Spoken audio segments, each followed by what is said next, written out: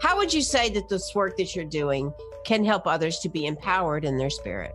Know that we have the resources within us. It's not just me. It's not because I'm incredibly strong or resilient or whatever.